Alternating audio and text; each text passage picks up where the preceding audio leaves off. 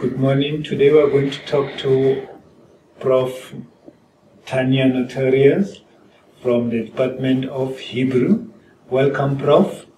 Nice to meet you. Hello. Uh, Prof, can you tell us how did you become a researcher? Uh, so, uh, I always was very fascinated about languages and literature, and always read a lot.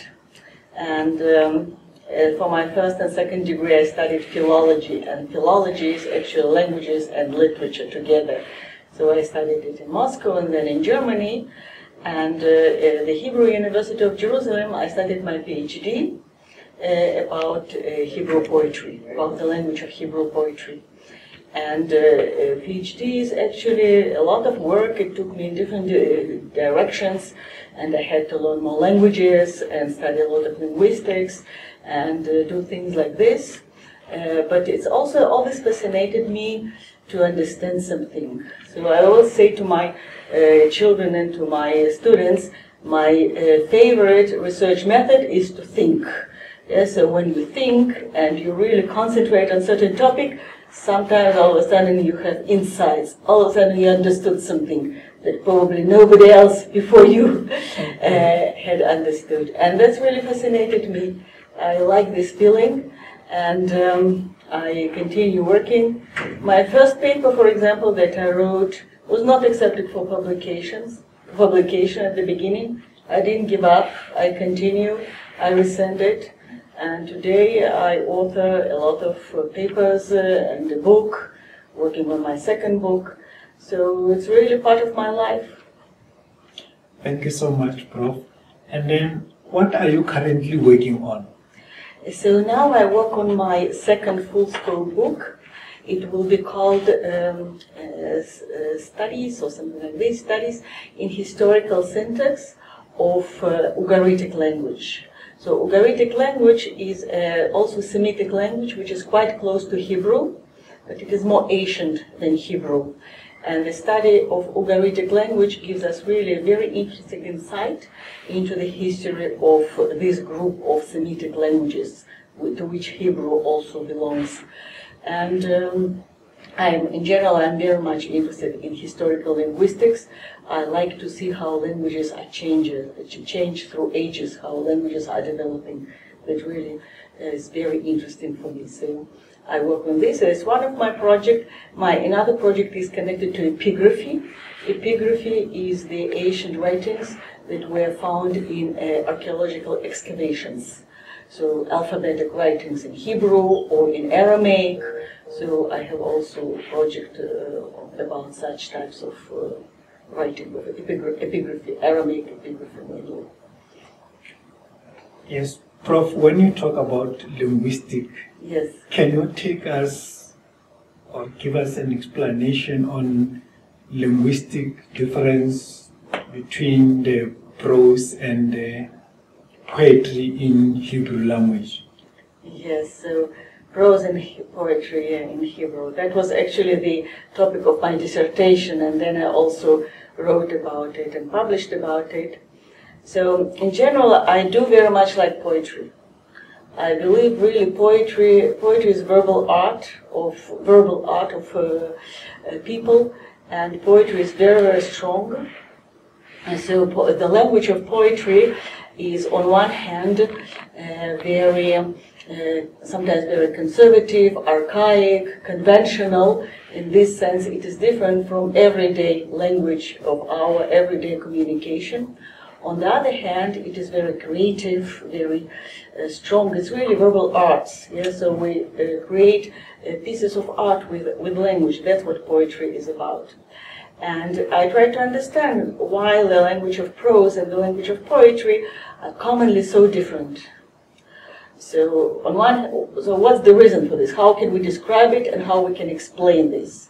So, either the language of poetry is more archaic, is more ancient, or vice versa. The language of poetry is more innovative, is more creative. So, we, I see here certain uh, drama, certain research question, and that's what I study for Hebrew and also for Ugaritic. Ugaritic also has uh, poetry and prose language, and it is uh, also very interesting. Thank you so much, Prof. And then, are there any exciting gaps within your, your field? Yeah, I think there are like there are mostly gaps, gaps, sorry, mostly gaps, because when you work with ancient languages, you just work with very small pieces of information. We don't have the whole picture because most of the data are lost. Uh, imagine a puzzle, yeah, a puzzle of I don't know a thousand pieces, and you have only twenty. Yeah, so you try to uh, kind of collect the whole picture using 20 pieces, but you want to understand what was the whole picture, what was the whole uh, puzzle. So that's how we work in ancient languages. We just uh, collect uh, small pieces of information and um, analyzing them, trying to understand what could be the general uh, picture. So for Hebrew, for example, uh, the great question is uh, how Hebrew Bible was written? Uh, at what time, uh, what are the stages of creating this corpus because Hebrew Bible, uh, Bible uh, in Hebrew language, that's the collection of books. Many books in it, several books, and we want to understand how uh, this process occurred. Also, how we can follow within Hebrew Bible different layers of Hebrew, because we say that Hebrew Bible was written during thousand years so the most ancient text is maybe 12th century uh, BC, and the newest text is 3rd century BC. So it's almost 12 years of the span of writing, how it developed. So there are a lot of questions here. So keep us busy. Okay, thank you so much, Prof. And then concerning the dialect, is there a difference between ancient and modern Hebrew? Yes, yes, of course, of course. Yeah. So I'm a scholar of ancient Hebrew, but I also know modern Hebrew. It's one of my uh, languages, and um, there is difference. But at the same time, uh, maybe you know that modern Hebrew was actually revived based on classical Hebrew. So the uh, further generation, uh, the uh, earlier generations of uh, scholars, they took classical Hebrew, biblical Hebrew, and they started to talk, to revive the speech in Hebrew, and that's how modern Hebrew appeared.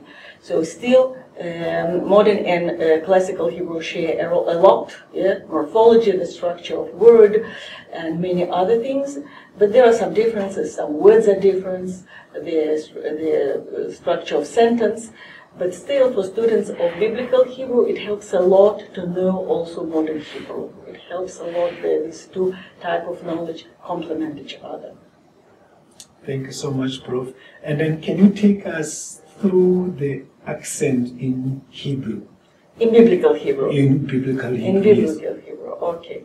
So that's a long story because Hebrew was transmitted in Jewish communities.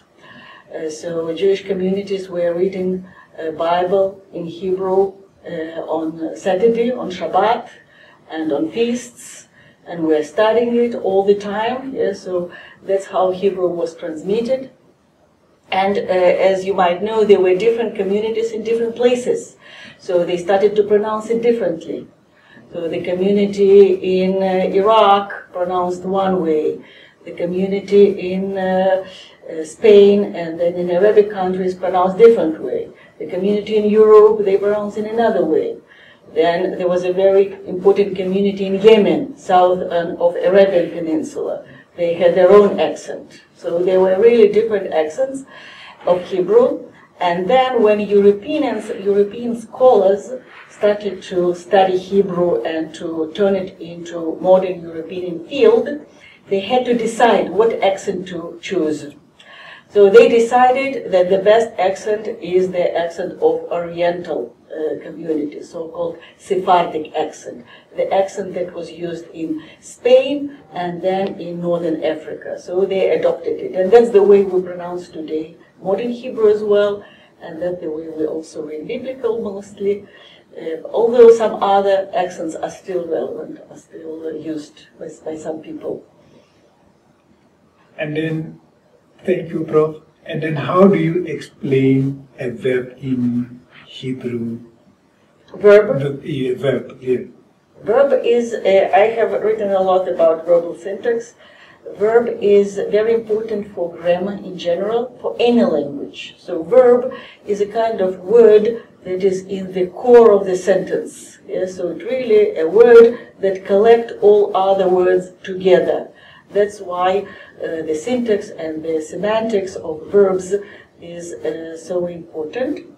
So Hebrew has some special uh, biblical Hebrew, some some special um, features, some special characteristics. We have the system of stems, and we have the system uh, the system of stems, which is very developed, and then we have the system of tenses, which is not so developed. Yeah, each language has its um, uh, special peculiarities, and um, that's the art of us as professors of Hebrew to explain it to other students, to students who just start to study Hebrew, to explain it in the most simple and clear way, not to frighten them. Because people are sometimes afraid of Hebrew. Oh, Hebrew is so difficult. No, it is not. It very much depends how you teach, how you uh, explain the uh, small things, how you train uh, the language with the, uh, with the students. So it's not very difficult, and that's why I very much encourage people to, to study Hebrew. It's a good uh, subject, good discipline, and it develops your mind, takes you into the world of Bible. Yes. Thank you, Prof. And then when I talk about mem, Mem. yes, What do you mean? it's M E M Is it in Hebrew? in Hebrew. In Hebrew. It's a, it's a letter. Okay, yes. yes. Why? So how do you explain that later? A letter. Yeah. I just wrote it on the board. It has two writings. The writing in the middle of the word and then the writing at the end of the word. So we have two different writings for this uh, letter. It's a very common letter. So why does it have two Two writings. two writings? Uh, look, we have six letters that have two ratings. And I will tell you the truth, it's not so bad. Because if you go to Arabic, Arabic has much more letters that have different ratings. And Arabic, for example, you can have different writing at the beginning, in the middle, and at the end of the word. So in Hebrew it's easier. it's only six letters and only middle uh, and at the end of the word. So it has to do with the history of uh, writing. Simply, they, these are letters that they had long lag, and then the people started to connect this lag to the next letter, and that's how the another type of writing appeared. The writing which is in the middle of the word. But uh, when you come to my Hebrew class, I will explain with more details. Thank you, Prof. And You're then, welcome. what message can you share with aspiring researcher? the aspiring researcher. Look, um, I have several things that I kind of repeat to myself. Yeah, I I, I learned it from my father, uh, blessed memory, and from my teachers. Uh, I had very good teachers during my life. Uh, was blessed with this. Uh, so one of the things that I kind of remind myself all the time uh, that we human uh, human beings um, we are distinguished by the fact that we create knowledge, we collect knowledge, and we transmit knowledge. Yeah, that's part of our uh, strength. Yeah, that also what makes us human. So for us, as the people of humanities or the people of, uh, of scholars, that's our job actually to create knowledge, to collect knowledge, and to transmit knowledge to uh, further generations. So I see it as a kind, kind of my um, kind of my mission, and I think that's very important. And I would like more people also to, to be involved in this in different types of knowledge, but also in what is connected to Hebrew or to, to Bible. The other thing that I always remind myself that um, a person with even a person with average abilities can do a lot. You don't have to be genius. Even a person with aver- average abilities can uh, achieve a lot of things. If everything, almost everything. If you are consistent, if you work hard, if you are passionate about what you're doing, you don't, you don't, you never underestimate your intellectual abilities. Never. Yeah. So always believe in what you have is is for good. Yeah. You can do the best of this. And my third mail message is a bit harsh. I've heard it with, when I was first year student. I heard it from my professor of uh, Spanish language, and she said something like, "Get appalled by your ignorance and start to work." So it's a bit harsh. Not everyone. It's not so maybe not so accepted for modern students but sometimes I reminded myself, and I can also mention it to, to my students, it's not so bad to be appalled, to be kind of horrified by your ignorance, because there are a lot of things that we don't know. And then if it encourages us to continue working, we, uh, we go on and uh, have some interesting things to achieve and to see forward to. Yes. Thanks, Prof. And then coming back to your work, is there a specific theory or school of thought that influence your writing? Um, uh, that's a good question. So uh, I think I was influenced by, uh, I'm linguist, but I'm also philologist. So what's the difference? Uh, linguistics is interested in language as a system, as a system of science, science. And philology is interested in texts in the text, how, uh, how texts make sense, yeah, how we interpret text, what, what information can we draw from text. That's the difference. But they are, of course, connected. Yeah, linguistics and philology are connected. So in linguistics, we have a lot of theories. Linguistics is very much about framework, yeah? So you have to choose your framework. Again, one of my teachers, uh, Uh, she also, also passed away, unfortunately, Professor Edit Doron from Hebrew University.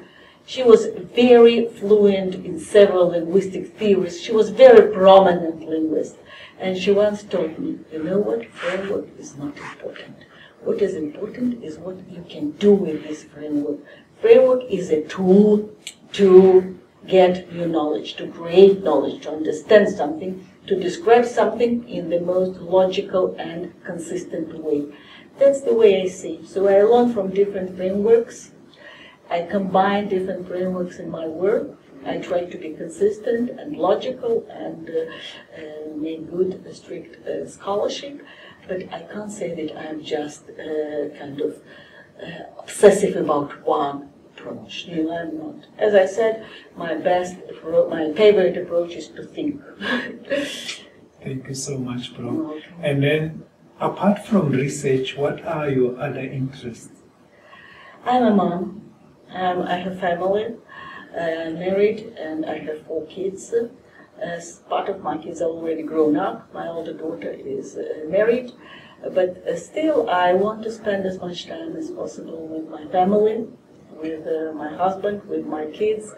Uh, just to sit and chat with them, to do things together, to read books, to travel. Uh, that's actually what I do when I'm not busy with my work. Mostly, yes. Uh, thank you so much for your time, Prof. You're and welcome. we really appreciate your sharing uh, with us. And thank you for having me here. Thank you.